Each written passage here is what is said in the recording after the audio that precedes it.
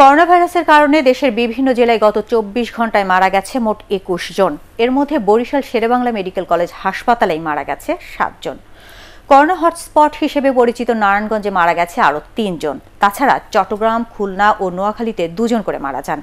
আর আক্রান্ত হয়েছে অসংখ্য মানুষ। প্রতিনিধিদের তথ্যচিত্র নিয়ে রিপোর্ট করছেন পরাগারমান দিনকে দিন দ্রুত গতিতে বেড়ে চলেছে করোনা ভাইরাসের সংক্রমণ। বাড়ছে আক্রান্ত আর মৃতের সংখ্যা। বরিশাল শেরেবাংলা মেডিকেল কলেজ হাসপাতালে চব্বিশ ঘন্টায় মারা গেছে সাতজন। কেবল তিনজনের করোনা নিশ্চিত, বাকি চারজন মারা যায় করোনা উপসর্গ নিয়ে। এছাড়া বরিশাল বিভাগে নতুন করে করোনায় আক্রান্ত হয়েছে সতেরো পুলিশ, এক ডাক্তার, দুই নার্স সহ ছাপ্পান্ন জন। করোনা ভাইরাসের হটস্পট, নারায়ণগঞ্জে মৃত্যু আর আক্রান্তের সংখ্যা কমছেই না। গত চব্বিশ ঘন্টায় মারা গেছে আরও তিনজন। এ নিয়ে মোট মৃতের সংখ্যা পঁচাশি জন। করোনা ভাইরাসে আক্রান্ত হয়েছে আরও একশো চব্বিশ জন। জেলায় এ পর্যন্ত মোট আক্রান্তের সংখ্যা তিন হাজার সাতচল্লিশ জন। চট্টগ্রামে করোনা আক্রান্ত হয়ে মারা গেছেন দুজন। এর মধ্যে একজন হলেন চট্টগ্রাম জেলা আইনজীবী সমিতির সাবেক সভাপতি কবির চৌধুরী।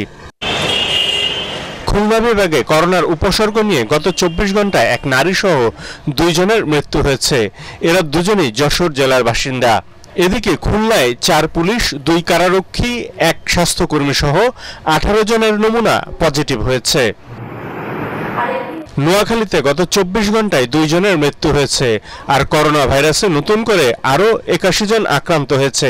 এ নিয়ে জেলায় মোট আক্রান্তের সংখ্যা সাতশো উনসত্তর জন ও মৃতের সংখ্যা ষোলো জন।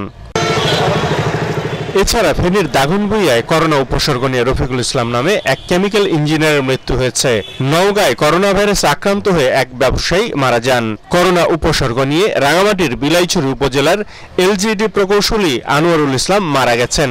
করোনা ভাইরাসের কারণে সিরাজগঞ্জে এক তাঁত ব্যবসায়ীর মৃত্যু হয়। এদিকে কক্সবাজারের উখিয়া শরণার্থী শিবিরে করোনায় আক্রান্ত এক রোহিঙ্গার চিকিৎসাধীন অবস্থায় মৃত্যু হয়েছে। পরাগারমান, এটিএন বাংলা।